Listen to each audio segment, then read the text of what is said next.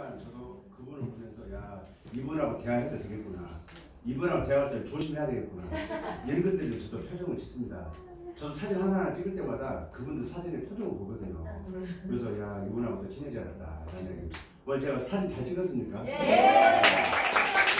자, 오늘 이 사진 찍은 것들도 벌써 인터넷에 다 올라갑니다. 어, 그래서 인터넷 올라갔어요. 올라가지고요. 신분자는 신분자는 싫어하더라고요. 네? 신용불감자. 그러니까 네가 신용 들어간 거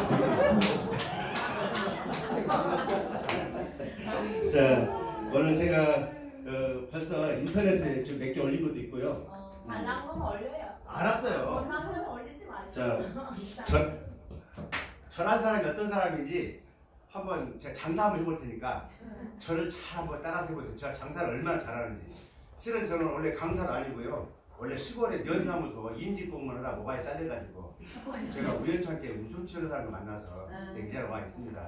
원래 제가 청각장애 말 더듬인데 이걸 이겨내고 지금 저도 강의하고 있으니까 우와. 제가 늘 다른 분보다